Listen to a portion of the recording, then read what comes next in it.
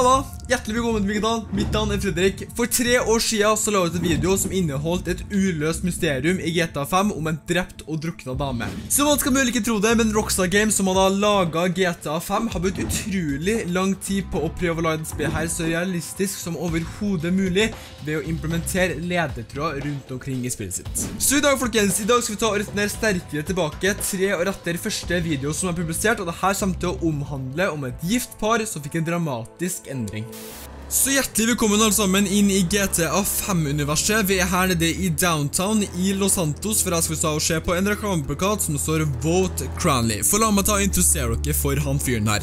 Hans navn er da John Jock Cranley. Han er stuntmann, skuespiller og nå statsministerkandidat for denne byen Los Santos.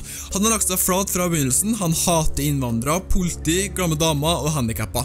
Rett og slett så er det et rent mareritt av en person.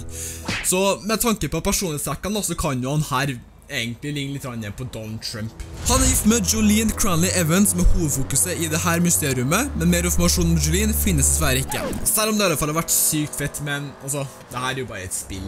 Så det her paret bor litt utenfor byen i en liten bygd som heter Blaine County, og John og Jolene har siste fått mye oppmerksomhet i media, og det her på grunn av at John er stuntmann og har en stor drøm om å oppfylle det ønsket. Dessverre så ønsker Jolene å bli værende i Blaine County og ta hånd om foreldrenes gjestehus.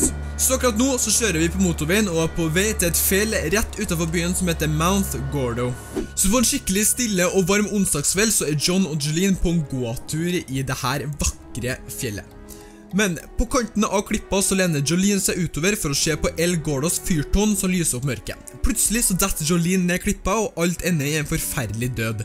Eller som neste dags forside skriver Det var et uhell, forteller den hjerteknusende ektemannen. Altså, for å si det sånn, så er jeg rimelig skeptisk på det her, ass. Så hvis vi returnerer på samme plass som hendelsen skjedde til oppriktig samme tid, så vil det mystisk skje. Så snart klokka tikker 23, så dukker nemlig Jolene opp.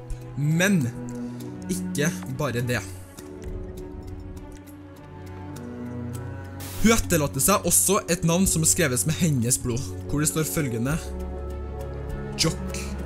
Så hvis vi forandrer perspektivet og finner oss nedenfor hendelsen, så vil vi se Jolines spøkelse og høre hennes skrik fra fallet. Men ikke bare det. Hører vi også ekstremt nøye etter, skal man høre Jolene hvis noe som er utrolig vanskelig å oppfatte hva som blir hviska.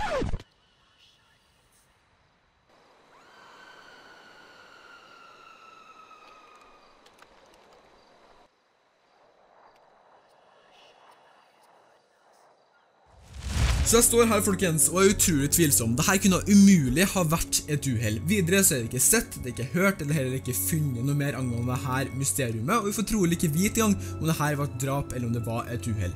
Men til i dag så er denne saken her fortsatt uløst. Eller, hva tror du? La meg vite i kommentarfeltet på hva du tror.